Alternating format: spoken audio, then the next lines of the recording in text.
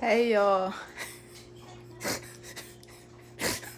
you know I'm always I'm always saying on my prayer run, I'm like encouraging y'all to get some exercise. I say do some running, do some swimming, do some jogging, do some walking, turn on the music and dance. I'm gonna always naming golf and bike riding.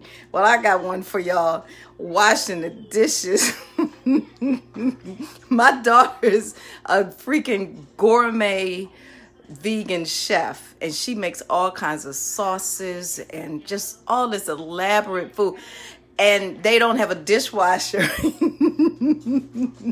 And i asked her is there anything i could do to help her today? She said you can wash the dishes if you want to. Well i'm sweating. That's how many dishes it is.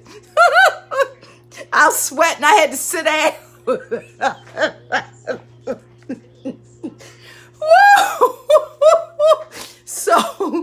washing dishes is an exercise to got my heart rate up. You hear me? All these pots and pans and and, and bowls and blenders and